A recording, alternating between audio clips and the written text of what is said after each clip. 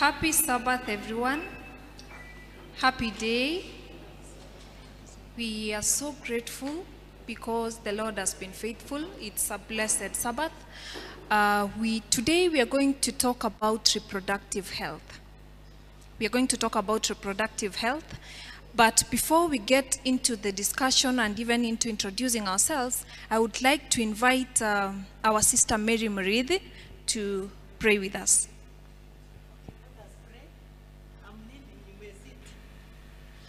Father, King of the universe, Master of the galaxies, we want to come before your presence this afternoon in this um, New Life Church to just exalt your name and bless your holy name. Thank you so much for everything.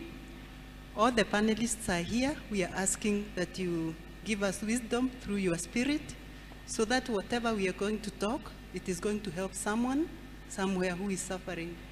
Thank you so much, Father, for each person who is listening to this uh, presentation. Open their ears that they may hear, even what they will hear, they also pass on to other people. We are praying that you be with us from the beginning to the end. We are praying all this in Jesus' name. Amen. Amen.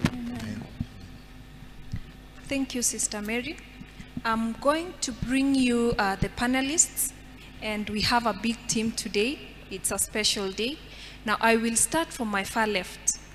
He will introduce himself, and then we will uh, follow that. Welcome. Thank you very much, Mercy. It's indeed a pleasure to be here at the New Life uh, Seventh day Adventist Church.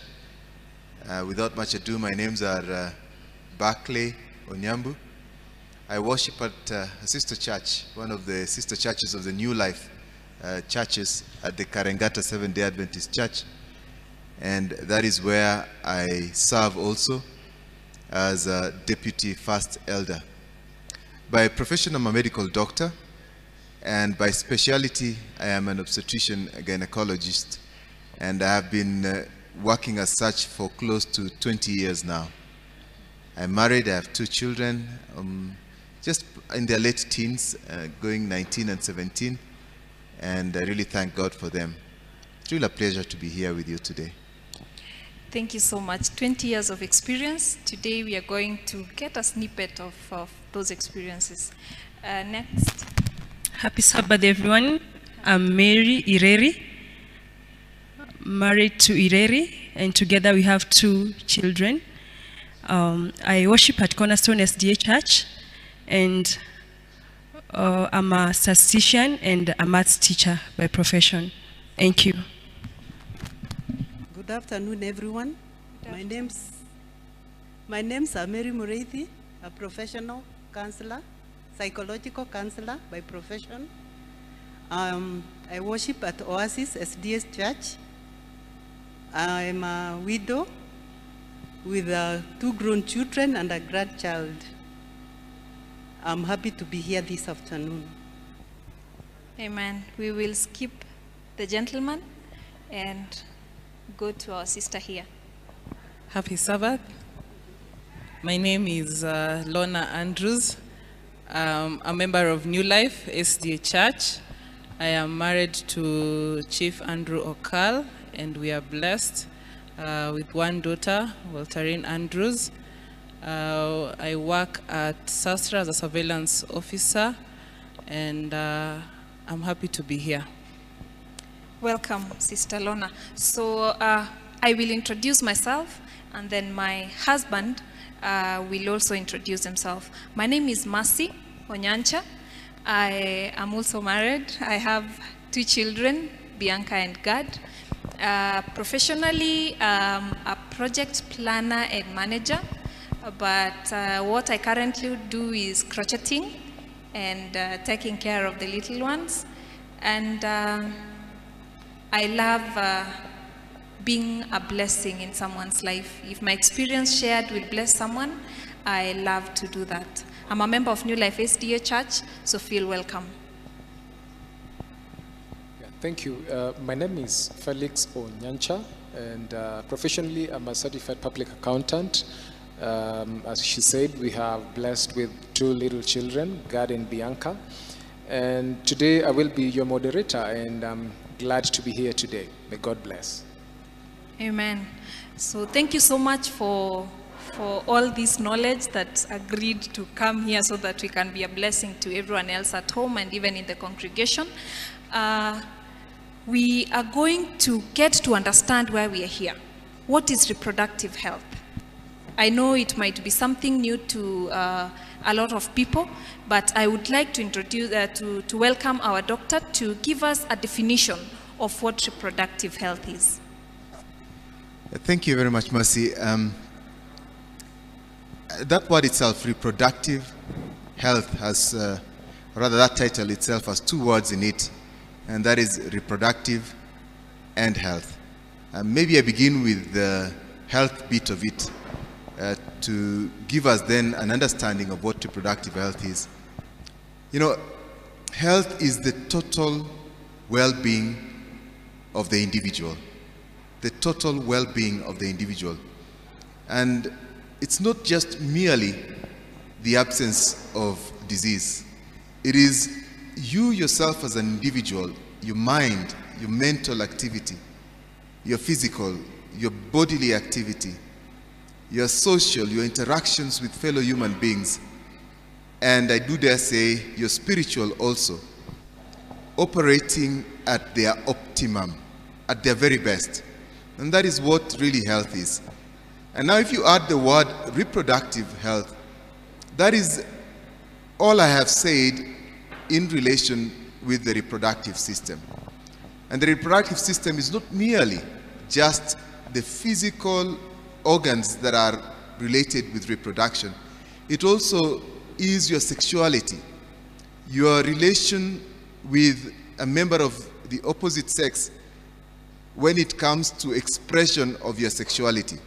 That is uh, what reproductive health is. It's the complete well-being of your expression in uniqueness as a man or a woman in relation with a member of the opposite sex. That expression completely is what reproductive health is.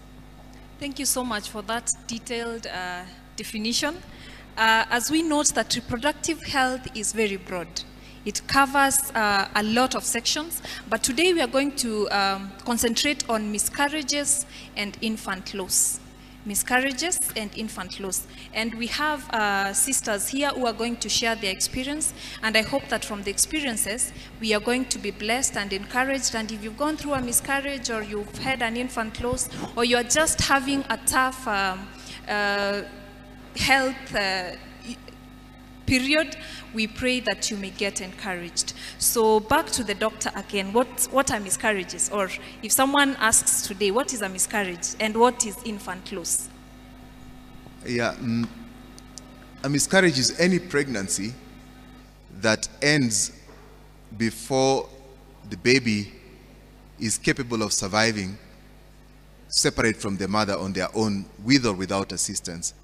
And uh, therefore, miscarriage has different definitions, would dare say, depending on in the region in which you live or you're operating.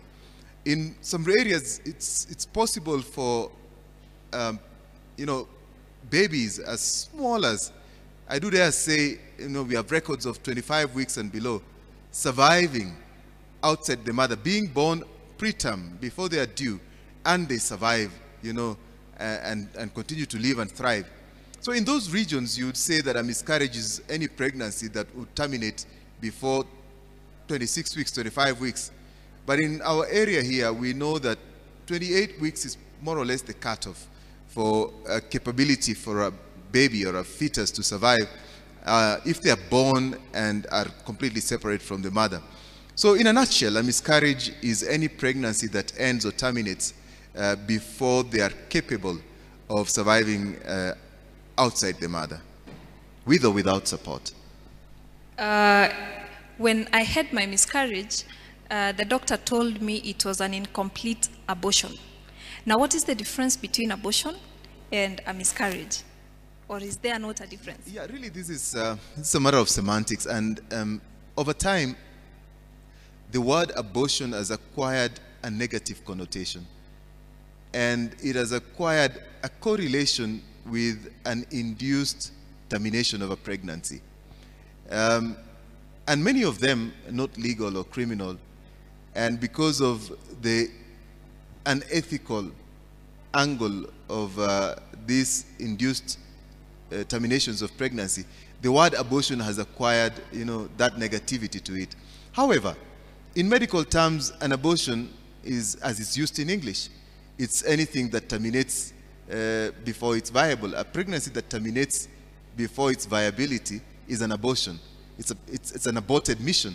The mission was to continue until the pregnancy or the baby is delivered, but then it aborts along the way, and sadly, it aborts before uh, a viable baby is there. So the terms are, are more or less interchangeable, uh, but nowadays, many medical practitioners would like not to use the word abortion, especially when they are writing to, to the lay people.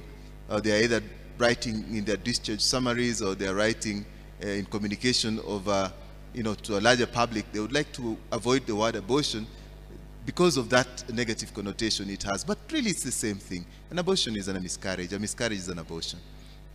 Okay, thank you so much for clarifying that. Now, we would like also to understand what infant loss is. Yeah, yeah. Um, any uh, baby below one year old is considered an infant. The cutoff for infancy is uh, one year old. So any baby who dies below, below the age of one year is considered as an infant loss. There's another time I probably another term I probably want to throw in here that encompasses all these losses, you know, all these pregnancies and infant losses uh, that do not go beyond one year, and that's the term perinatal mortality. Perinatal mortality, or deaths that surround the period of birth, whether before or after. And if you've seen that term, it's one of the, the indicators of the health status of a society. If you've seen that term used, that's what it means, perinatal mortality, deaths that occur uh, in a very, very significant and important period, I do dare say, in human life and society, and that is the period around about pregnancy, birth, and below one year of a child's life. Thank you so much. After that detailed information, I would like now to invite my husband to take over. Yeah, so welcome, and uh, I would want us to go through this discourse uh, so that we can be able to understand the effects that bring uh, that come uh, with the aspects of uh, miscarriages and also infant loss. So at this point in time, we are going to have uh, our panelists to basically share their experiences and how this has affected them both spiritually emotionally and also uh, socially. So I'm going to call our first panelist, uh, Lorna, to actually tell us a story of how did it happen to her so that it can be able to inspire somebody out there who has no experience or who has zero experience about all this. Welcome, Lorna. Thank you, Felix. Uh, my experience. Uh, just uh, two days ago, uh, this celebrity, John Legend, and the wife actually uh, experienced a miscarriage. But uh, the question is, is this topic relevant to me as a child of God? If you read Job 3.16, the King James Version says, or as an hidden and timely birth I had not been, as infants which never saw the light. So what is this hidden and timely? The clear word says, um, that is Job 3.16, it says, why wasn't I stillborn and buried as an infant who never saw the light of day? So it means that the Bible actually recognizes this aspect of miscarriages, this aspect of infant loss, this aspect of, of stillbirth. Um, if you read uh, in the book of Genesis, Genesis, um, Genesis chapter 11, verse 28, whereby the Bible actually mentions the fact that Haran, who was the father of Lot, died before, died before the father. And uh, the Bible, you know, when you read Genesis chapter 5, it says, and Abraham begat so and so and so and so outlived, you know, outlived the son, and, and so and so begat so and so. But when Haran died before the father, the Bible actually poses and mentions this because the Bible is actually, you know, the writers of the Bible were actually shocked by the fact that a son died before the father. Now, um, onto my experience, um, I've had what they say three pregnancies, uh, but uh, I have, uh, I had two miscarriages and uh, one, would they say, successful delivery. Um, so the first, the first uh, pregnancy, which was a miscarriage, of course, when you are told of the news that uh, you are expectant, as a first-time mother, you know, there's the excitement, you know, there's the aspect whereby you share new, you want to share the news with your friends and families, you want to compare notes and, and so forth and henceforth, you know. And so there was that bit of excitement, the fact that uh, I am expecting or we are expecting our first child.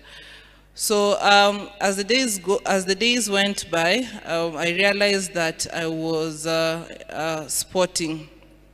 Now, when I realized that I was spotting, I did not take keen attention to towards it. So two weeks after, when I went for my what is called prenatal visits, and the doctor was examining me, realized that uh, there was something amiss. So he did not explain to me there and then what exactly was the issue, but he referred me to go to the radiology department and do another ultrasound. So when the ultrasound was being done, the sonographer asked me, how many weeks are you supposed to be? And I told her. Then to tell me whatever you're telling me does not match with what is, uh, you know, what I am seeing here. So what it means is that the heartbeat of the baby stopped at six weeks. And uh, that is how the news was, um, was delivered uh, to me. So that is the, so afterwards, of course, we went, visited the doctor with the news, and, you know, we organized for a, for a procedure, a D&C, and all that. Then afterwards, a few months afterwards, uh, the Lord blessed us with the second pregnancy. And uh, immediately when I realized I was expectant, same, same issue of spotting, but now this time round, I was put on medication. So it was not sort of like an easy pregnancy because most of the time I was on bed rest and such and developed complications, that is preeclampsia. Um, so because of that, I had Bell's palsy. So there's a time when my, despite the fact that I was on BP medication, my pressure was still going high and uh, the baby had stopped moving. So the doctor had to make a decision there and then that we had to deliver at 32 weeks. So that meant that, you know, because the baby was not yet fully developed, you know, injections to fully develop the lungs, uh, emergency CS, and uh, the baby was in NICU for, for three weeks. You can say those are some of the worst three weeks or some of the worst moments in my, in my life. Uh, but God is gracious. If you see her, you will not even believe uh, that she was a preterm baby. Then uh, afterwards, um, uh, towards the end of last year, December, again, received good news that I was expectant.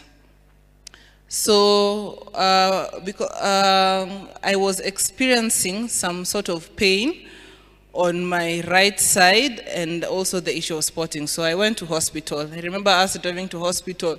That was on 31st of December. Because 1st of, 1st of January, it actually found us in hospital. It was around there midnight or so, about midnight, 1 a.m. So uh, the lady says, uh, it shows you four weeks, but you know, uh, there are some cysts that are here. So she called the doctor, the doctor um, said uh, we were to do surgery, we were not so comfortable, so uh, we decided to seek for, you know, further uh, opinion. And then um, so I was put on medication. I was put on medication, but still the doctor whom I was seeing said that the pregnancy, at that stage, he could not say whether it was viable or not, but he said, let's give it time and monitor whether all will be well. So I remember us traveling up country, and uh, I was in so much pain. I went, did another ultrasound, but the gestation, it's called the gestation period, was still showing the same as it was like two weeks ago. So we just knew this one, there's nothing. So when I came back, when I saw the doctor, he said he had hoped that uh, it will be, you know, the baby will expel itself um, normally, but it did not happen. So we, were scheduled, we were scheduled for a procedure. So I remember it is interesting how that day, immediately when I left the hospital, I started experiencing so much pain, so much pain. So we went home. That night I did not sleep. I was in so much pain. I was cramping. I started bleeding, heavy clots and everything. Then it sort of subsided in the morning. Then as we were going, because the procedure was in the afternoon, so we decided to go. But on our drive to the hospital, the pain was too much, too, too much, unbearable. So I remember just landing into Nairobi Hospital and being taken to the emergency and, you know, started cleaning. Then the doctor came, I was done for the procedure. And uh, yeah, that was it. Yeah, just a follow-up question is, uh, how did this experience affect you emotionally as a person? Um, emotionally, uh, I can say I, I thank God for the spiritual background that I had.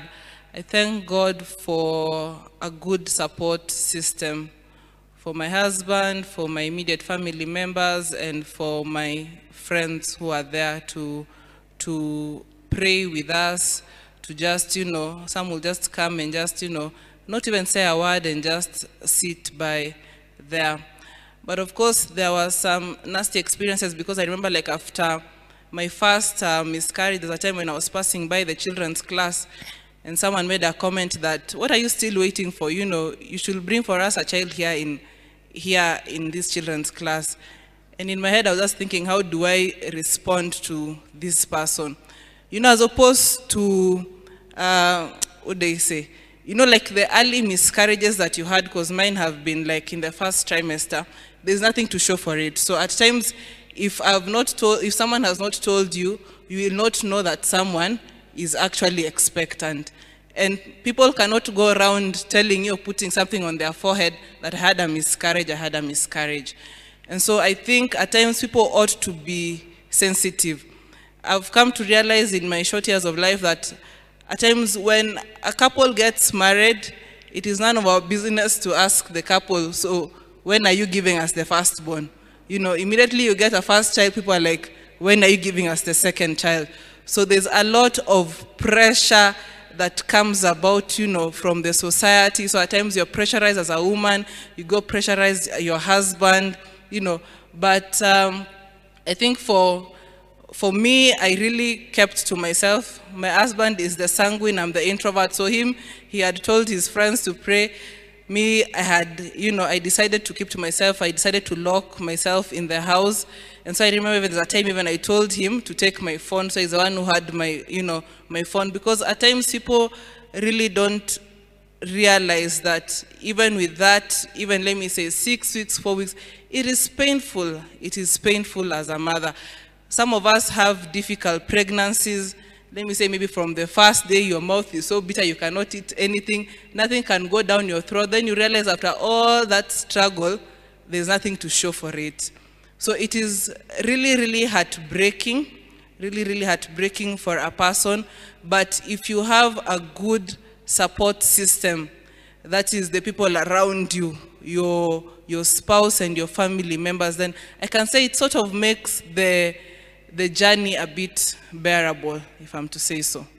Yeah, thank you, Lorna. And uh, what I get from your, from what you've just uh, shared with us is that uh, having a, a, good support system between, you know, having your family, your spouse who is able to support you during this difficult time actually helps you to walk through this journey.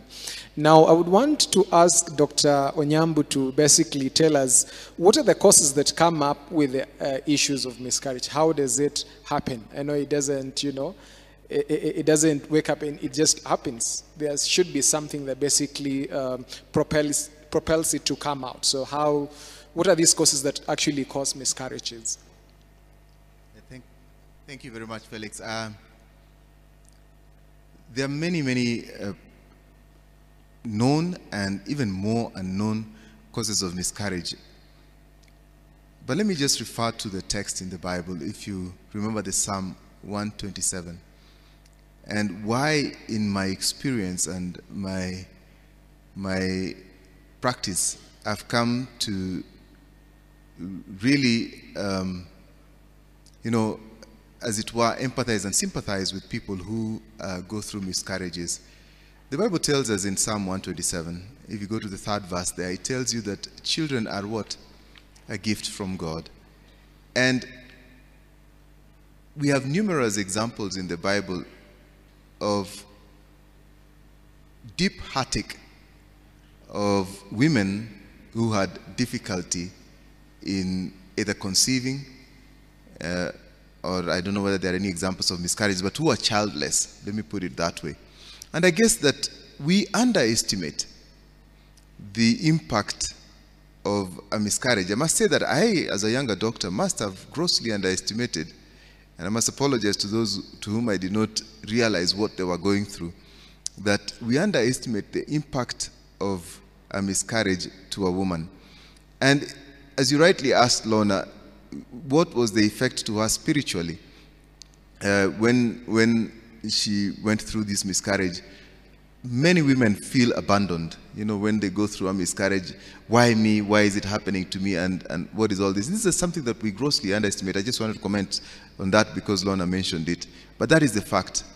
And for those who have studied it, and I, have taken time to go through the literature, the motions and emotions that a woman or a couple goes through when they have had a miscarriage are akin to when they lose a child. So it's not something to be taken lightly. Just that's on the side. Now, coming to the causes of miscarriages, the majority of miscarriages that happen below 12 weeks of pregnancy uh, have no known cause. But those who have looked at the possible causes of these miscarriages have found that if you do the studies, the molecular studies of, of, of these products, or rather the miscarriage products, you find that many of them bear marks of abnormality, chromosomal abnormality, that there is a defect that happens at the point of fertilization whose result is a conception that is incompatible with life. That even as life begins in its element, at its primary level, that the defect is so gross that it results in an unviable pregnancy. And this pregnancy that cannot live then is expelled naturally or as a process of induction by the body. So chromosomal problems are one of them, especially those that are happening in early, early pregnancy. Other possible causes which in my experience are not as common as what I've just described, include infections. There are certain infections that are known to be correlated with uh, miscarriages. Um, in medicine, we call these, we abbreviate these as torches. They include toxoplasma, rubella. Then we had syphilis, which is less common now. And then we have some viruses, groups of viruses we have the herpes group of viruses. We now know even HIV is contributing to that. So we have a group of infections that may be related to that. Another cause is, especially if miscarriages are occurring repeatedly, uh, one must look at the possibility of an abnormality in the anatomical structure of the womb. Maybe the womb was formed with a problem in it, and Sometimes we find people having a division within the womb and that division may be inconsistent with the proper growth of the baby. Certain organic diseases, certain diseases that affect mankind, may also contribute to miscarriages. And this the doctor usually investigates if the miscarriages are repeated. Um, these include diseases such as uh, thyroid diseases. We have some diseases that uh, affect an individual whereby the individual is producing uh, an immune attack on their own self. We know these diseases, an example is lupus, uh, but there are many other diseases such as those where you mount an attack on your own self. The, own, the body mounts an attack on its own self using its own defense mechanism. And these are very, uh, nowadays they are fairly common and you may find them being a cause of, uh, of uh, miscarriages. But let me say that this, overally, the first trimester, and that is the period between uh, zero weeks and 13 weeks, the miscarriages that occur in the first trimester, most of them have an unknown cause. Uh, the miscarriages that occur in the middle trimester, and that is the period between 13 weeks and, uh, and 28 weeks, in the majority of those, there is an anatomical problem. There is a structural problem with the womb. And that problem may be right from the cervix. You may find that the cervix, which is the mouth of the womb, that is the mouth that opens into the birth canal, you may find a weakness in that mouth in that it begins to give way, way in advance of a pregnancy reaching viability or term. And that we call in medical terms cervical incompetence. And this is a common cause of miscarriages. And that cervical incompetence could come as a result of either procedure done on the cervix or just, you know, naturally, if somebody may be born with a weak womb. And occasionally you may find some growths within the womb itself. For example, uterine fibroids. And these compete with the growing baby for space. If they are growing, if the fibroids are growing in such a manner that they are growing in towards the cavity where the baby is supposed to grow, they are a likely cause for miscarriages. But many people or many women have fibroids that are growing not in towards the cavity, they are growing outward of the cavity, and they have no issue at all, at all in terms of causes. So in a nutshell, there are many, many causes of miscarriages, and it, it's important to investigate if the miscarriages are repeated, to investigate and find out what could be the cause. So, uh, Dr. you would want to, you know, say that uh, whenever somebody has a miscarriage and it is uh, coming out repeatedly, it is important that they are able to um, treat that uh, or basically go to the root cause of what is uh, bringing all this to the logical conclusion. And uh, does that also, if somebody doesn't do that, does it lead to infertility at the end of it?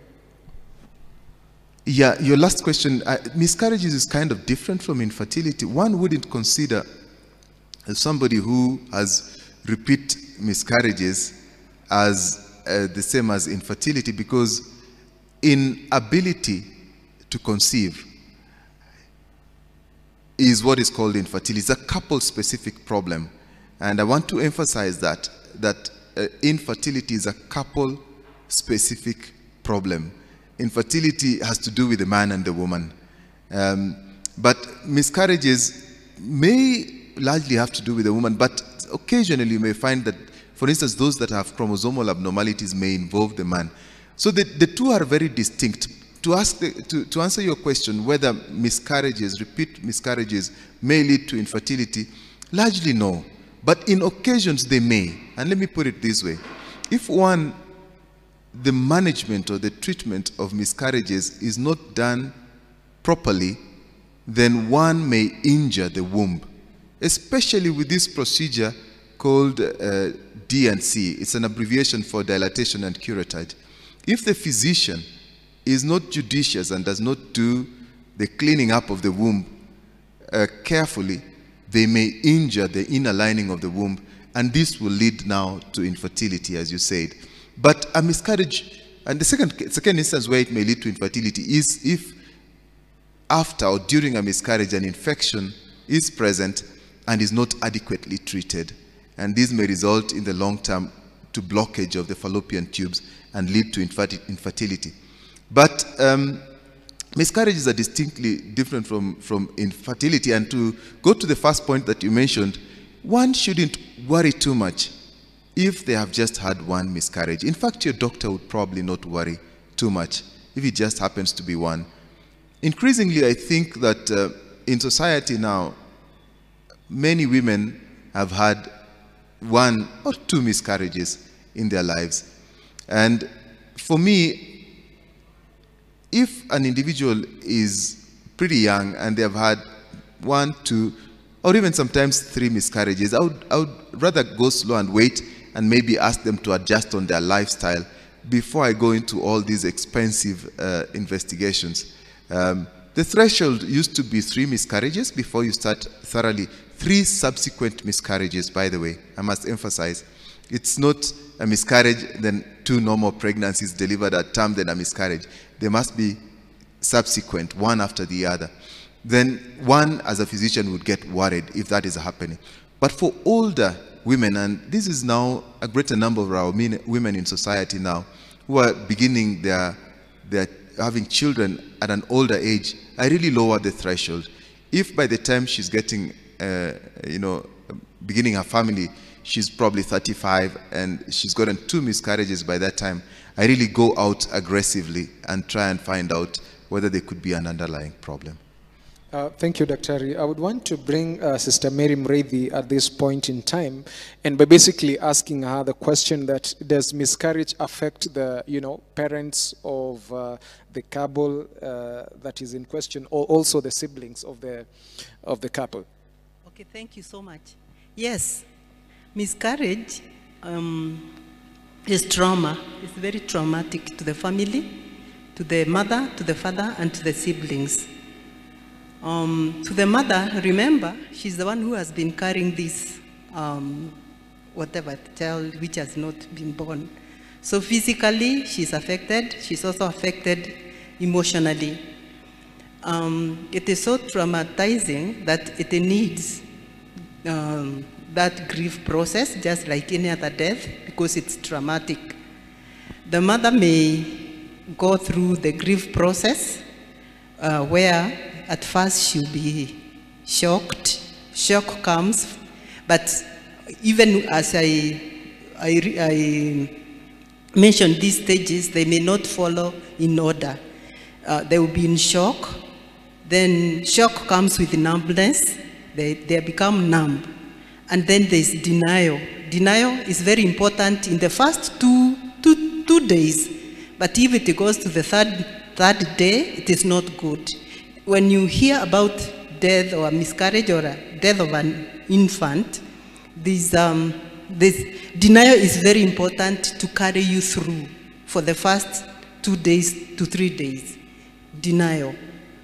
Because the moment you are denying, you are hoping that this child, you did not miscarry, you are going to see this child, it did not happen. So you, it, you, you carry through with that hope. But now, from the third day, we call it pathological, which is not good. Then it comes to um, anger. The woman will go through anger. She will ask herself, oh, um, why did this happen to me? She gets angry even to the spouse, to the children, to the people, to the significant others. And even she's angry and to God, she, she asks God, why, why? And also to other people get angry to fate. And then there's a time of bargaining for the mother. She's bargaining. I wish I did this. I, I, I, I was good. I was eating good food. I would sleep. I, she starts bargaining. And then there is a time for depression, not the normal depression which people have, but it is a very deep sadness. And then there's acceptance. But before you reach acceptance, it's a process. For the father, fathers also go through grief. It's only that they, they express their grief differently from their mothers. Remember, they are not, not they are the ones, they are not the ones who are carrying this child. So physically, it will affect the mother. But emotionally, the father is affected so much like the, the mother. And it is because men are not able to express their grief like women. They keep to themselves.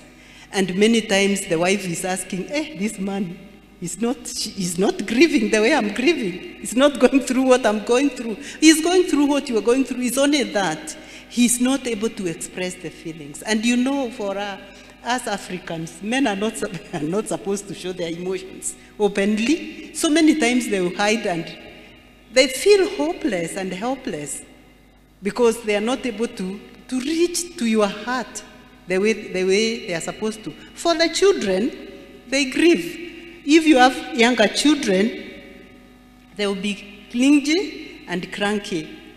And the, the older ones, a bit, they will, they will be obstructive and aggressive because they, they, they, they are seeing what you are going through, they know this. And for the bigger children, they may keep, may keep to themselves. They may not talk.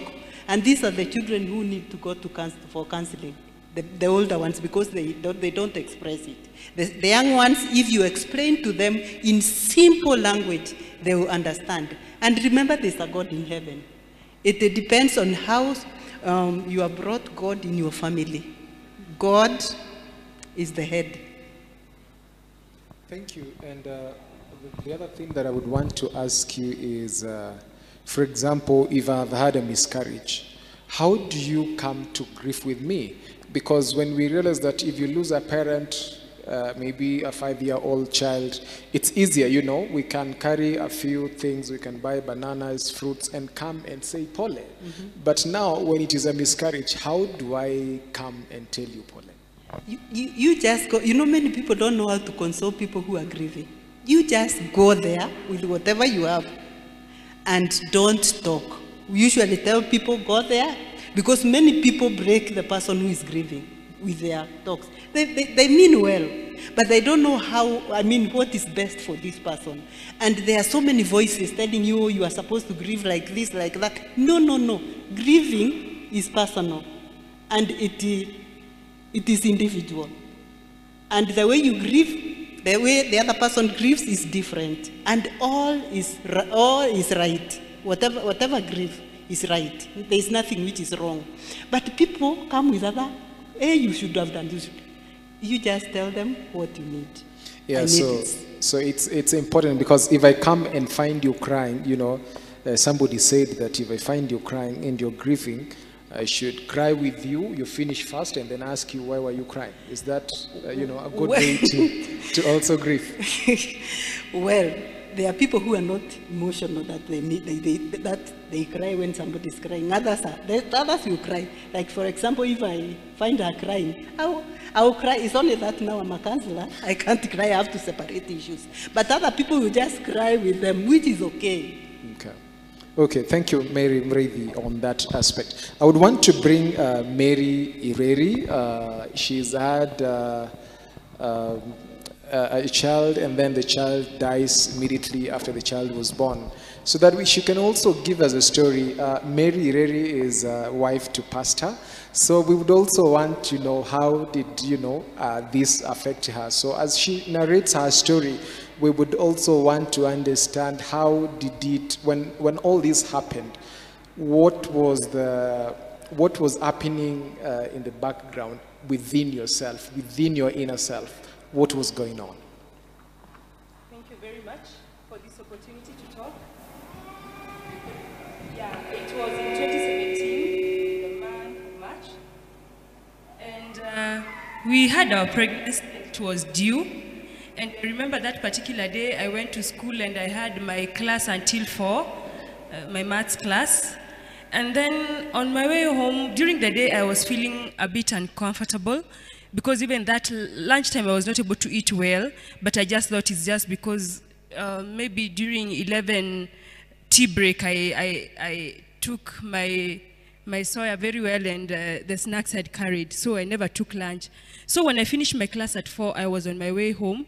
Then I thought, uh, because we are due, let me just go check what is happening. So I, I passed by uh, a, a nearby health facility, a government facility, and I explained to the, to the, to the nurse in charge, and she tells me, Sawa, let, and uh, to my surprise, she told me, my dear, you are on labor. Actually, uh, the pathway is uh, five centimeter open, so you need to get ready. And I'm a bit, I'm, be, I'm a bit shocked. But then, so I'm asking her, so what next? She tells me, now you need to come out of here and get somewhere to be admitted. I'm like, why won't you admit me? Yet they had a maternity. She told me, right now we are on strike, so kindly go get somewhere you can be helped. And so I was out. My husband was not near then. So I came out, and after that time, I don't know, my, my mind, uh, the labor now came somehow. I don't know what happened. After I was told uh, I'm on labor, so now the labor came that I not felt comparing to our firstborn because we already had our first daughter. So I, I left uh, the place feeling very confused. So the, I called my husband, uh, but uh, he was not able to pick up uh, the call. He was on, on, on he was riding. I, I went to the house, and now I had to wonder what next. And anyway, I got to a private hospital after some time, and on arriving there, they confirmed again the case, and they admitted me. And in that moment, now I was waiting, I was waiting for the baby. I waited. The baby is not coming. Uh, then they decided to induce me, and on induction, still the baby is not coming. And then there was a point of alarm where now the nurses kept on um, uh, uh, trying to listen to the, the heartbeat of the baby. And I could hear them say, ah, we can feel it from very far. But that one, for me, I didn't worry so much. I thought they were in charge, so I relaxed. But then after some time now, uh, the baby came. I delivered normally. And uh, when baby came, unlike our firstborn, when I got the firstborn, I remember the, the doctor uh, held the baby and asked me, what kind of, what, what sex is your, I told her it's a baby girl. Then from that, uh, uh, she kept the baby on my, my, my, my chest and then continued the other procedure. So now this time, when the baby came, I saw the, the nurse stuckered. Okay, I don't know how to express that in English. So the nurse uh, got a little bit shocked, and then immediately she rushed behind, and then I, I could feel her trying to resuscitate by patting or something kinda. Then from that, the next thing was I just found myself praying loudly, something that I never done before. So I could tell God, God, I know you have blessed us with the baby boy, and I know that he's well. And I don't know what made me think like, even if he's dead, you resurrected. So I, I, I know I have that baby. And um, then, to cut the long story short, uh, sooner after I was told to go clean myself, then on coming out, I found my husband had already come, he was in. And so I asked him, is all well? Then he, he walked to where the baby had been put. And uh, then I looked at him, I just asked him, because now I could look at the baby, the baby is sleeping That's why I looked at my husband, I asked him, uh, I could see it's a baby boy, so I asked him, is he alive? Then my husband held my shoulder and just, he didn't talk, he just nodded the head like this. And uh, for me, actually I would not believe because comparing to the first daughter, the baby was sleeping.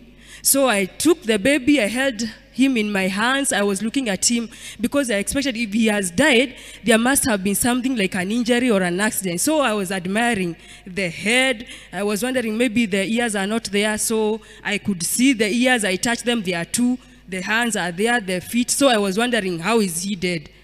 So I, it was uh, I think uh, the nurse saw, like, I don't know what I'm thinking. So now the nurse decided now to take the baby. And from there, I remember I, uh, uh, I, we slept in the hospital and I was admitted in the room just next to where, uh, to the labor ward. And during that night, I never slept. Why? Because I was looking forward to hear that baby cry. You know, like I had faith that this baby is going to come back to me. And because I was in a maternity, I was in a ward where there were mothers, we were mixed up. There were mothers who had babies. There are those of us, those who are still expecting, and now I'm there. So me, I would look at those who are uh, uh, nursing their babies, and I'm like, mine is waiting for me because aliwekwa that other room, and I was waiting the whole night, not until morning came, and still the baby was, was not able to wake up, and we have to leave the hospital without the baby. It dawned on me when, uh, when I saw my, the baby pack, you know, the bag that I had carried to the hospital and the basin, I'm carrying, like I'm carrying home with nothing. Uh, that one really hit me hard. And um, I thank God that, yeah, that was it. So that's how we went home without the baby boy. So sorry for your loss. And I would just want to ask you um, when all this happened, and basically when you realized that, uh, you know, you went to the hospital, you were ready to receive a baby, and then you're going home, you're actually only carrying maybe the basin and the clothes. Um, when you got home, basically, how did you, you know, how did you tell your little girl that, you know, we went to look for baby, but uh, you know, we we are. It is what it is at the moment.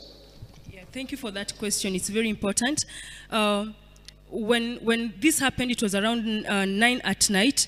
So we stayed with my husband all all along, and he had to break the news because when we went to labor, the African mothers will always want to know and they want to pray for you. So uh, my husband had to break the news to both parents from my side and from his side. Then at around uh, Sasaba usiku, he went home and he is the one who broke the news. He explained to our little girl, by then she was three years. Uh, he told her, because she knew we were expecting and every day she would pray for our baby. So he told her that uh, um, we've gotten a baby boy. Then the girl was so happy. Uh, when is he coming? Then he told her that we, he will not be able to be coming home with mom because he has died. And the girl could not really understand, but he tried to explain to her, you see the way you eat, the baby will not be able to eat. He has died, so we will bury him. We'll bury him. And because we had gone to some burials previously, he had seen as uh, he had seen people bury someone below there. There was something like that in mind. So when I came home, actually it was just amazing. I was very afraid of her asking me about that question, but she never asked me. She actually hugged me and made me cry more because she was like, Mom, sorry, God will give us another one. Yeah. So I never broke the news per se. My husband did, and for me it was much easier. Great. And do you think by now that uh, you know there is a brother? Uh, does she remember of that?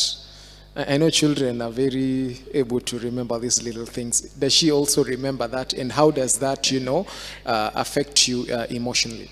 Yeah, uh, the little guy is able to remember because we had a photo of our baby, and uh, she was shown that this is a this is our baby, the one who died, and his his photo is always there.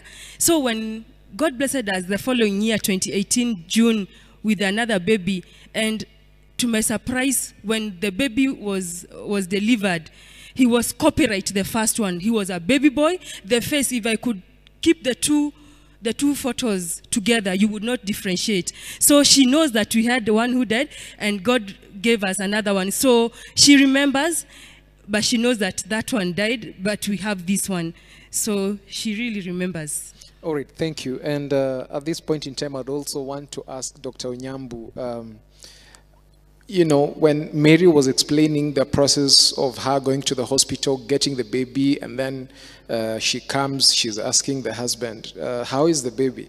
You know, she says that she was like, maybe there could be an accident because she realized uh, the husband was not responding. And I believe the husband was not responding because of shock uh, by himself that, you know, he was still trying to come to terms by what had happened. Um, she alluded that, you know, uh, maybe there could, be, could have been an accident.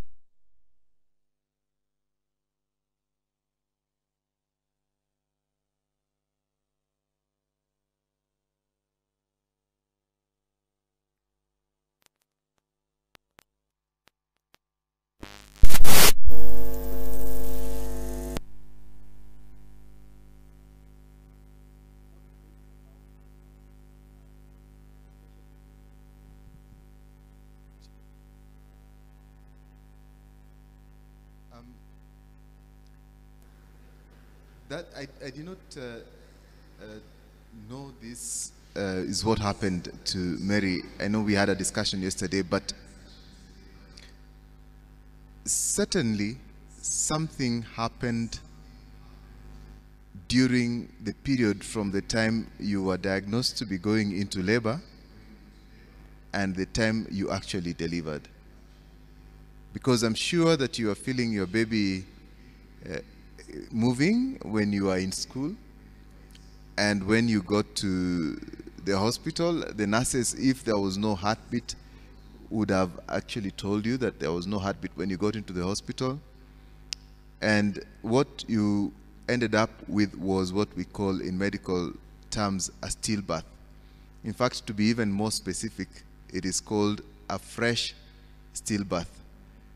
A fresh stillbirth is differentiated from what we call in medical terms a macerated stillbirth, where the baby had died a lot earlier on. You know, if the baby dies in the womb for more than eight hours, you would not have given the description that you gave today to the extent that even the picture you have looks the same as the picture of the baby that you now have of the baby boy. The difference would have been very distinct between the baby you bore at that time if the baby had died before you came to the hospital and the baby you bore. So, in a nutshell, what I'm concluding is that that baby died in the process of labor and delivery. That is when that baby died. For 100% sure, I'm 100%, 101% sure that that's what happened. So, this is what I want to say. Um, the period of labor and delivery is absolutely critical. And I tell this to all women I take care of who are going uh, in for delivery. It is so important and it is so critical that it's you must have an understanding of the danger signs and when your care providers are not looking out for those danger signs. You must have an understanding of those danger signs. And if they are omitting looking out for those danger signs, then you will remind them that if in labor you have not listened to my baby's heartbeat every 15 minutes, then you are missing out something. And if you're not listening to that heartbeat uh, for more than one minute during labor, then you're not picking something. You are, you are, you know, missing something in the management of labor. You know the danger sign of, uh, and it's common, many women know it, that if the baby is obviously in distress, the baby may pass stool in the tummy. And if you're in labor and you're in a hospital and your care provider has not broken the bag of waters that surrounds the baby just to see whether the baby has uh, passed stool in the womb, then it's critical that you remind them. And sometimes even just by asking a question as the baby passes stool in the womb, you remind them that this needs to be done. It's not, it should not be the case. But I have seen uh, outcomes like your unfortunate outcome, Mary, where caregivers sometimes omit to do what they're supposed to do. And this, truth must be told. Yeah, that sometimes it happens inevitably, but sometimes it's avoidable. And this is the language we have when we review uh, situations like yours, Mary. Was this one avoidable or was it not avoidable? So um, I can't comment on, on this regard, but many things can go and do go wrong during the process of labor, but a lot of effort and progress has been made towards determining that things are going wrong during labor. And employing this knowledge for any medical worker saves a lot of lives, you know, a lot of babies' lives. So just to, to, uh, to, to say, for instance, we don't know why some babies in labor, you can have a baby with a perfect placenta, perfect cord, and very normal growth, but during the, the stress of labor, that baby does not cope. You know, the baby just doesn't cope. And signs of a baby not coping with labor is when the contractions come, for instance, the heartbeat just drops severely or may drop and remain low for a long period of time. But when the contraction is gone, the heartbeat pick, picks up. In a normal uh, labor, the heartbeat will drop when there is a contraction. That's normal, it's a reaction from the baby. but it should pick up immediately the contraction are gone, is gone. So these are some of the things you would monitor in labor that would help, uh, you know, avoid uh, uh, losses of babies such as those. All right. Um, thank you, Daktari. And I would want us now to move to the third experience. And I would welcome um, Mercy to tell us, you know, what happened uh, during our process uh, that led to miscarriages that she has had over time. Uh, I have had three miscarriages, uh, they were after uh, a successful uh, pregnancy. I had my firstborn, uh, our daughter. Uh, the labor was was not interesting. It's usually not interesting, of course, but I had. Um, a difficulty after delivery. I had a lot of uh, issues and uh, I went into depression. So that uh, killed my excitement for having another child. But two years down the line, uh, we sat down and, and agreed that we need a second born. And uh, we, shortly after that, I got pregnant. And uh, because the first pregnancy, I had had a few scares. So in this one, the gynecologist we were seeing had proposed that immediately I got pregnant, we need to, to, to go for the prenatal uh, clinics. So immediately I noticed I was pregnant. We started attending, attending our clinics. And uh, uh, a few weeks down the line, we did our first scan. It was, it was perfect. And eight weeks down the line, uh, we decided to go for another scan, and it was also good. Now, at 10 weeks, I noticed I was spotting. Uh, I decided to, it was, it was spotting and, and the blood was, uh, there were a few clots. So I decided to go to the nearest uh, clinic and uh, I went, I saw a doctor. Uh, he tried to use the stethoscope, you know, listening to the heartbeat and all that, but there was nothing. I could see it in his face, though he didn't tell me, but he said, you know, for us to be sure, you need to go and have an ultrasound. So I had to go to another, another hospital a distance away, around five kilometers, to go and have my ultrasound done. So I went there, and uh, in, in a very insensitive way, the sonographer tells me that um, the sac, eh, the contents of the sac had detached, so there is nothing they can do. In short, I was having a miscarriage, but I had not uh, passed uh, uh, the fetus. So I went back to the doctor, uh, we spoke about it. Uh, I did not want to sleep in the hospital, so he suggested um, a facility that was nearby that can do D&C. I don't know if there's a difference between a D&C and MVA, but we went to the hospital, uh, a procedure was done, and when we were leaving the hospital, uh, the first experience I had with um, insensitivity uh, from other, other, other members of the society is that, you know, when my husband and my friend had left the facility, so I was going in to be, to remove the line, hiyo line ya kuweka maji. So I go and the nurse looks at me. I think when, when someone looks at my body size, they tend to presume I am very young. So she says, unajua wasichana wa siku mnatoa mimba sana, siku utaanza kutafuta watoto utashangaa. So this one hit me really hard.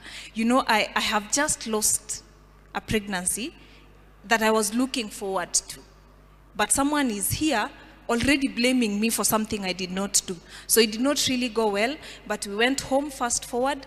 A few months down the line, we were pregnant again. Uh, we went to the hospital early as uh, the doctor had suggested again. So we had our prenatal um, uh, cares and all that. But uh, at this point, uh, I was put on bed rest because I had one scare, so I was put on, on bed rest. Uh, I had a shop, so I chose to, to walk there, you know, let me go and see what is, what is happening. Uh, so I go to the, to the shop. The attendant I had left to, to, to, to take care of the shop when I was away uh, tells me, let me do some supplies. It was a wholesale. Let me do some supplies because you're here for a few minutes. Uh, I will come back. So I sit at the shop and then a client comes in. Uh, he wants 10 liters of cooking oil. So I choose, you know, you're told don't lift heavy, heavy things and all that. So I choose to push the, the 10, the jerrycan, the 10 liter jer- jerrycan of cooking oil.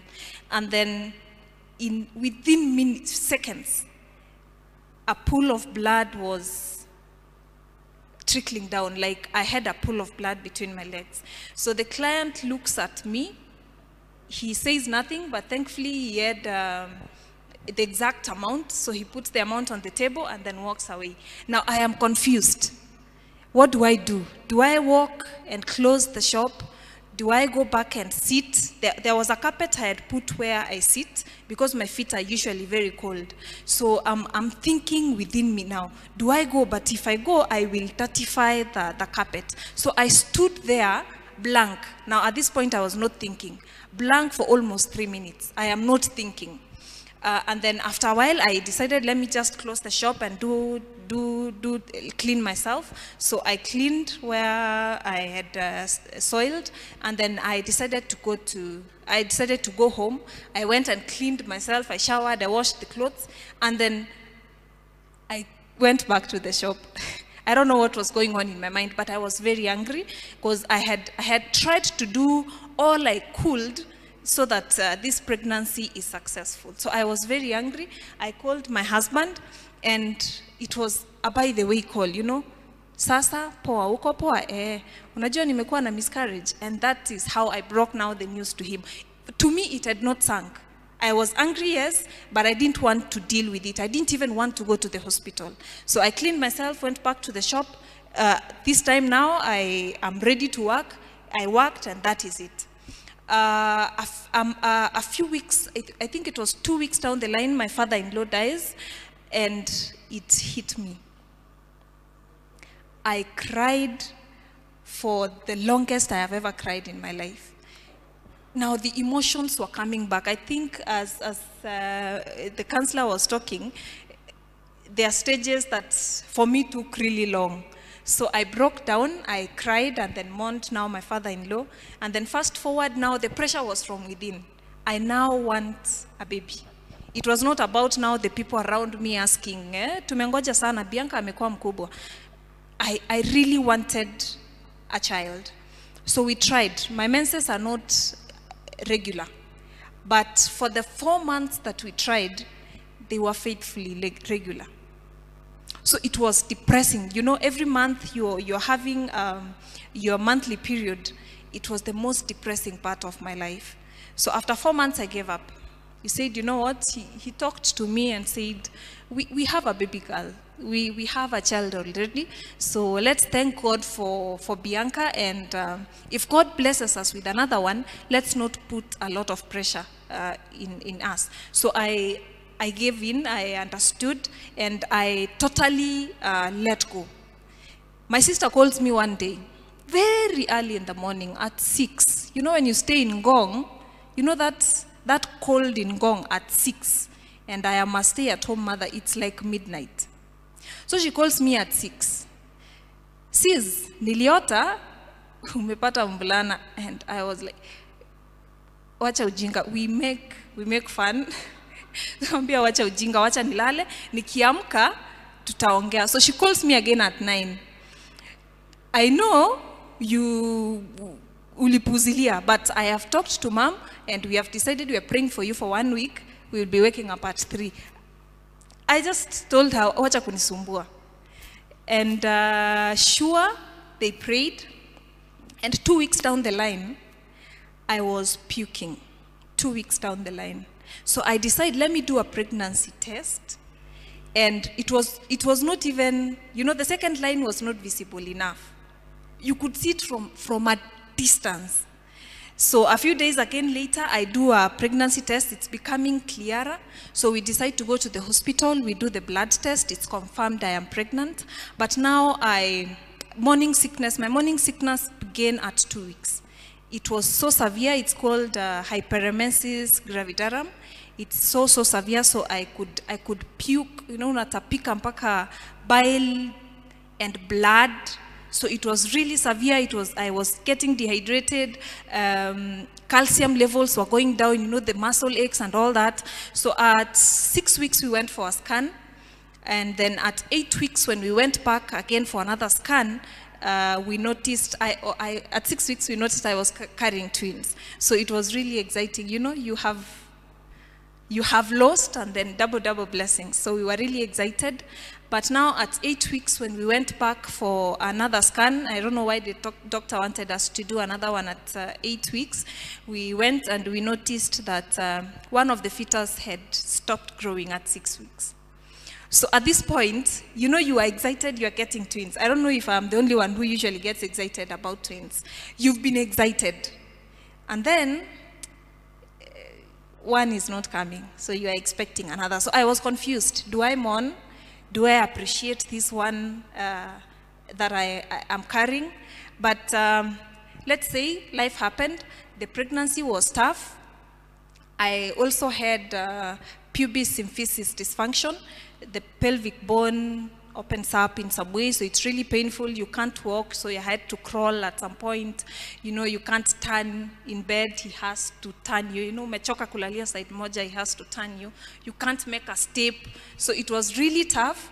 But uh, when it got very tough, the he decided, he said, you know, we are at 34 weeks, the child is viable, let's uh, have an emergency CS because I was in pain.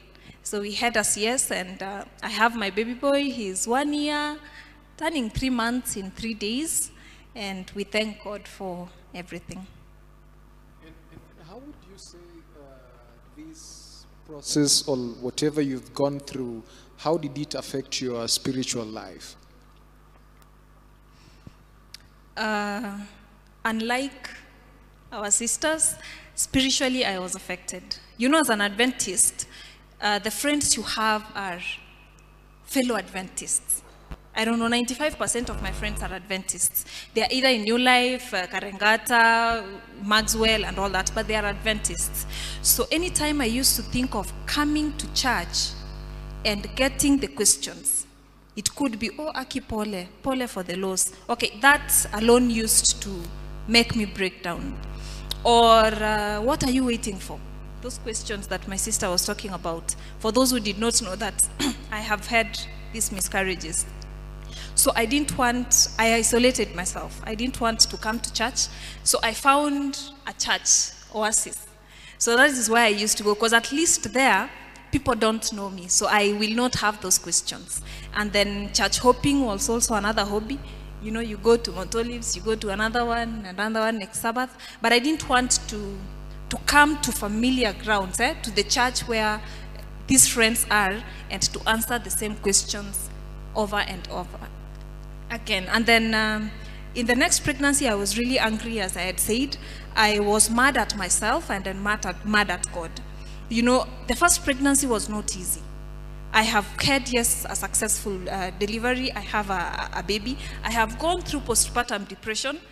I have gone through the first miscarriage, and then this is another second miscarriage. It broke me down because this is a series of either pain or loss, pain or loss. So it's, it crushed me. I couldn't pray. But um, the, the, the people I love, the people in my life, uh, could always remind me, you know, we are, we are praying for you, and um, it's, it went a long way. Great. Uh, I would want now to ask our counselor. I believe that all this process, at some point in time, you could get it affects you in one way or the other. Now, how would you be able to tell, maybe personally, or maybe as the panelists have just said, how would you be able to know that now it is the right time I need to go and see a counselor? Some people just go and see a counselor without um, much thought. But there are some people who are able to self heal because of the support, mostly the social support. Um, when they have good care and good support, they may be able to accept this loss. But if it persists, that's where we tell people it is good to go to a counselor so that the counselor can teach you coping skills so that you can be able to cope with life and move on. There are ti- times you feel you don't, you know, like when you are depressed, you don't feel like doing anything. You don't want to get out, you don't want to meet people, you don't want to talk to anyone, you don't want, you don't, you don't, you don't. So that is the time when you feel helpless. This is the time you need help. Wonderful. And uh, especially when you go through the process as a mother, you get pregnant and you know you're counting weeks, uh, the miscarriage, all you know, you go to the end and then you get uh, an, uh, a baby and then dies after that. Um, I believe you, as a mother, you could have looked for clothes here and there, you know, buying unisex clothes, pink, uh, blue, whichever. Um, and you've actually, you have good stock of them how do you as a person as part of the healing process how do you decide whether to keep or to dispose such a cloth because i believe in one way or the other they remind you of something Yeah, that is, that is a very good question. Um, mostly when, like for her, not for a miscarriage, for her now, she had clothes. But she was still hoping to get another child. This is the time uh, you can talk with your spouse. You put those clothes somewhere where you won't get, see them for some time.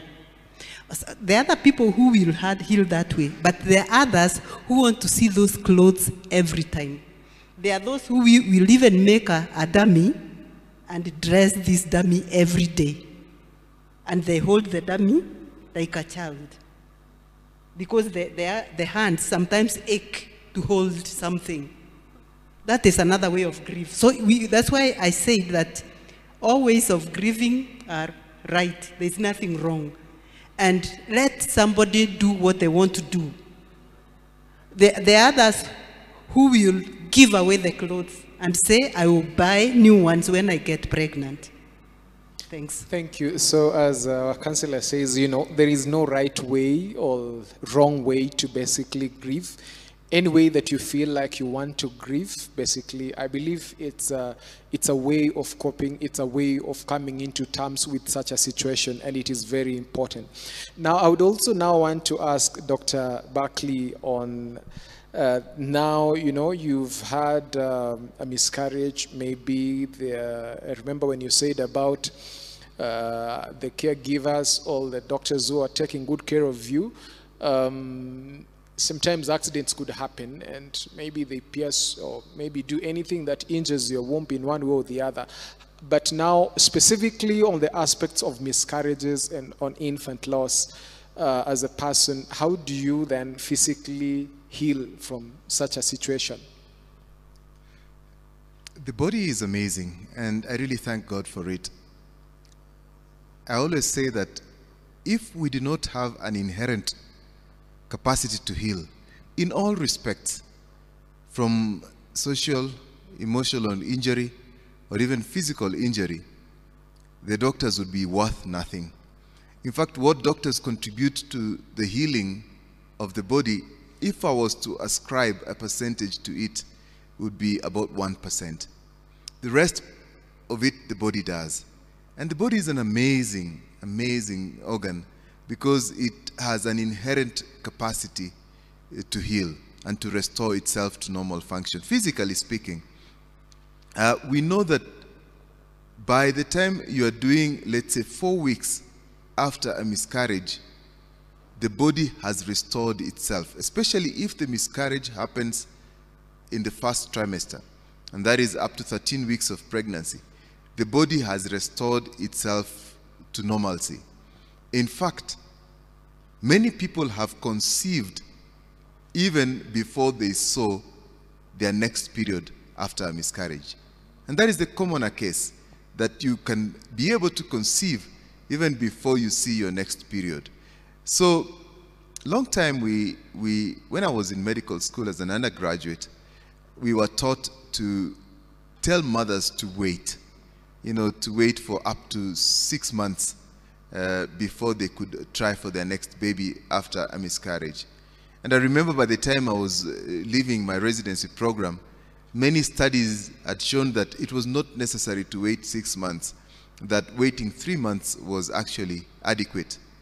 Now, the teaching is, in fact, you don't have to wait at all and let nature take its course. If you conceive uh, a month after uh, a, a pregnancy loss, the chance of losing that pregnancy is no higher than the chance of losing a pregnancy after you've waited for six months or even one year. The probability of losing that pregnancy remains the same.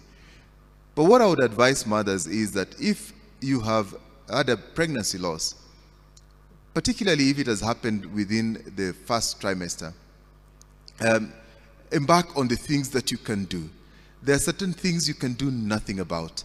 You know, chromosomal abnormalities, chromosomal uh, uh, mistakes that happen during conception, you may have very little to do uh, to prevent those. They're just chance happenings. But you can embark on a lifestyle that restores your body to optimal function. And we know the eight elements of uh, healthy living. It has to do with what you eat, the exercise you take, the water you take, adequate exposure to sunlight, which now we are trying to supplement with vitamin D.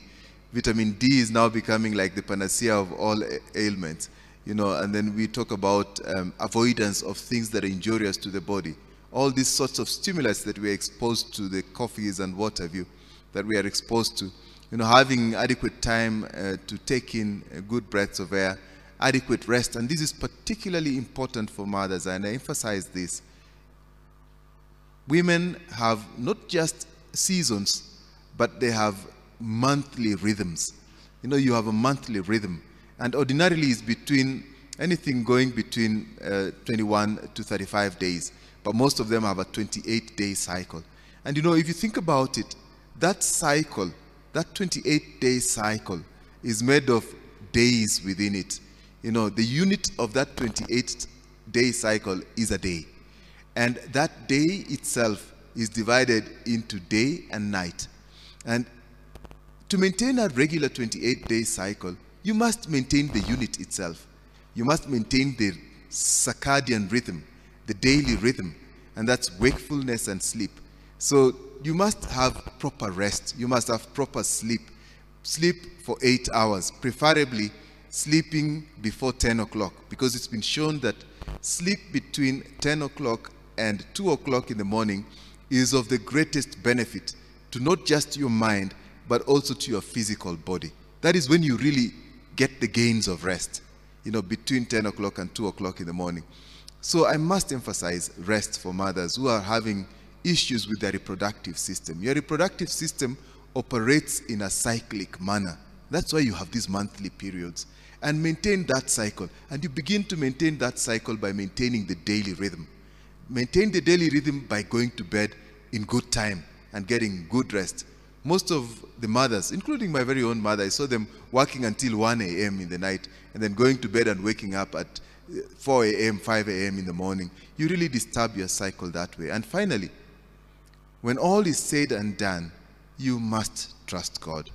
You must believe in God. God is the giver of life. And God knows what is best for you. And even when we go through this valleys that Satan brings to us, when we go through these difficult times that Satan throws at us, so long as we have the courage and the strength to hold on to God, He'll bring us through them. Thank you, thank you, Daktari. And I would want to also bring uh, Mary Mreithi to tell us, you know, how does one heal now emotionally? Because I believe it it affects you. And how are you able to heal emotionally? In you can be able to summarize that in a minute, how I'm able to heal emotionally. Um, if you want one thing, you have to trust in God, as my brother has said. God and time heals. And from there, you have to accept accept the loss. That only then will you start healing when you accept the loss. Because denial cannot prolong for a long time because it will be pathological. So you have to accept the loss. That's the, the, the, other thing. Talk to parents who have, like for, for her, who has lost an infant. And for miscarriages, look for people who have gone through the same, that you walk this journey with them. They will be able to console you. And they are better off, they are better placed to talk to you than the people who have not gone through this. Also look for a support system the, a support system where uh, you will be sitting together. We usually, usually encourage them to start um, a group of, um, like for example, for us, me, a widow, we have a, a group where we are all widows. Then we share our experiences. And then, as my brother has said, you have to take care of your body physically. And also, as you do these physical things, uh, join sports, swimming, uh, knit, bake, uh, cycle, a bicycle, do all those things. They will, they, will, they will help you heal. And also, choose purpose to eat a nutritious meal. And uh, as we, I think we are blessed, we have so many books for health, which can help you as you walk this journey. And more so, come closer, all the family members, the husband, the children, and the people who are around you. They will give you more support. And also friends. There are those genuine friends. If you talk to them, they will help you. But there are those people, okay, they may not know whether they are hurting you with words. Like the, many, they will tell you, like they will tell you, oh, you get, you have another child. That is very, it's not a good word. You have another child. Oh, it is the will of God. Oh, you you will get another one soon. Don't worry. This is the wrong time to tell somebody it is the will of God. Just keep your mouth shut. Just be there. Just go there and keep quiet. If they want to talk, they will talk. Thanks. Um, thank you so much. Um, even the fathers also uh, go through this. Uh, the, it's not that they do not um, undergo these losses, because you realize that um, as a father, as a husband, um, you've lost uh, pregnancy, you've lost uh, a child. You know, the same way, I, I would say that the same way, if, for example, you have a parent or you've lost any one of you, uh, close friends or close relatives. Uh, basically, the same way that you feel when you lose uh, a dad, a mother, a brother, a friend, a very dear friend, is the very same way that you know we actually also feel when uh, this child uh, has been, you know, this child or the pregnancy has been lost. Because can you imagine uh, if life starts at inception? it means you've actually lost a life it, it, it's not something, it's not something that was lost. And we're told that those are some of the, you know, in, uh, they, they're good, the, the people we will actually meet in heaven. So I believe with those mothers who've lost uh, miscarriages, uh, infant losses, I believe when you go to heaven, I'm, I'm just imagining that God will, you know, have your, your tribe behind you that will be following you. And uh, I, I, think that as a person, it, it consoles me. And uh, the, the, the, hope of, you know, uh, going to meet them one day makes me feel that, you know, uh, we will be able to reach there. So I want uh, Mercy to give the closing remarks as I also invite Elder Onyambu to pray after she gives the vote, vote of thanks. Thank you. Thank you, so much. Thank you everyone, for accepting to come and um, share your experiences. I talked to quite a number of women, very many, and uh, they were not willing to come out and speak about what they, the losses they, are, they, have gone through. So it, I know it's their way of uh, grieving. They are taking their time and privacy. Sometimes are people who are introverted. They don't want to, to share their intimate um, pains and struggles, we are with you in prayers. The mothers who are grieving, the fathers who are grieving, we are with you uh, in prayers. And for those who, Sister Lorna and Sister Mary, who accepted to come and, and share your, your experiences, may God give you strength. I got, I got help when I listened to others. I got better when I listened to others' experiences. And um, for everyone who has participated. If you are going through a loss, if you are going through uh, challenges in your reproductive health, uh, my phone number is 0727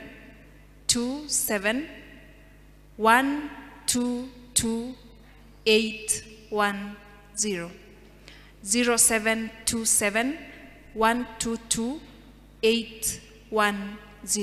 That is my phone number. Uh, you are invited to make a call. Sometimes it's good to to speak to someone. And it can get hard when you don't know who that someone is that you need to speak to. We also have counselors that New Life uh, Church has. Speak to me, make a call, we will direct you to the counselors in the church, and you will have a session of counseling. Thank you so much, and may God bless you. Yeah, mm, Lorna wanted to say something in 30 seconds, please, and then Pastor will be able to pray. I'll just read a verse that is from 1 Corinthians 10 13, uh, which says, Also remember that you haven't had any temptation that others haven't had. God is faithful and He will not let you be tempted beyond your strength, but He will provide a way of escape so you'll be able to stand up against it. So, to the women who've had miscarriages and uh, have not been blessed with a baby so far, as the panelists have said, keep on trusting in God. For those who've even had uh, miscarriages and you know successful uh, pregnancies and still you know other miscarriages, still keep on trusting in God. Being a Christian does not make us immune from these problems of the world. And so we pray that the Lord will keep you and hold on firm to his promises. Yeah, thank you. Um, uh, as, uh, as we were almost closing, there's uh, the online platform that uh, people are actually uh, talking. And uh, there's a question that comes, and I think, Elder, you can be able to help us. If you can be able to talk about ectopic pregnancy. I am not sure what that is, but maybe you can tell us what, and, and, and the effects in a nutshell. Thank you for your question. Uh, the question is very broad. Uh, I don't know what specifically they want to know about ectopic pregnancy, but let me define it and maybe just talk a little bit of what may be the possible causes of the ectopic pregnancy, and then just a little bit about its treatment in just a span of three minutes. One, an ectopic pregnancy is any pregnancy that lodges outside the womb anywhere else it lodges. I mean, if it does not lodge within the cavity of the womb where pregnancies normally attach and grow, that is an ectopic pregnancy. Common, the commonest site where ectopic pregnancies occur is in the fallopian tube, either one of the fallopian tubes. But sometimes they can also lodge on the intestines, they can lodge on the ovary. Some ectopic pregnancies lodge even on the cervix and they grow. Depending on where they lodge, they will cause certain symptoms. The fallopian tube, as you can imagine, is very narrow. And if an ectopic if a pregnancy lodges on that, in that site, within the cavity of the fallopian tube, as it continues to grow, it cannot be contained within the fallopian tube. And the likely thing is that there will be a lot of pain as the ectopic pregnancy bursts or ruptures the fallopian tube. Usually there is a lot of bleeding with this, and that bleeding can be life threatening. Therefore, one has to rush in and, and manage that. If an ectopic pregnancy lodges on the fat that surrounds the intestines, what we commonly call the omentum, sometimes they can grow really, really big. And they can grow to the size of a term pregnancy. In fact, many of those pregnancies that lodge on the intestines or on the fat that surrounds the intestines, the omentum, grow until one is expecting to go into labor, but they're not going into labor at 40 weeks, at 41 weeks, 42 weeks. And then the doctors make a decision to induce, but they induce and the labor is not coming. Because if you can imagine, if that pregnancy is not within the uterine cavity, then the contractions will not come because the baby has grown outside the womb. And there are many babies who have grown to that size outside the womb, and that's an abnormal pregnancy. The treatment of ectopic pregnancy is that you must immediately terminate that pregnancy. It must be stopped because if the woman is lucky to come to you before she started bleeding, there is a very likely chance that she will start bleeding, uh, wherever it, wherever it is. Even if it is grown to 32 weeks and it's stuck on the intestines or on the wall of the intestines, it must be terminated because the bleeding can be torrential and, and terrible at whatever time. Let me just add this as I close. Um, God is so gracious that He's given us two fallopian tubes. And many women who've had an ectopic pregnancy on one side have gone on to have very many children with the other tube to the point that they come back and say, Now you cut this tube also. I've had enough children. Thank you. Thank you, Elder. You can be able now to pray for us so that we can just wrap up the session. Thank you. Let me just, uh, before I pray, echo this. Uh, these women have been very, very courageous. Lorna and uh, Mercy and uh, Mary, I think you've been very courageous. It's not an easy subject to talk about, uh, the loss of a pregnancy, whether it is at whatever stage of the pregnancy.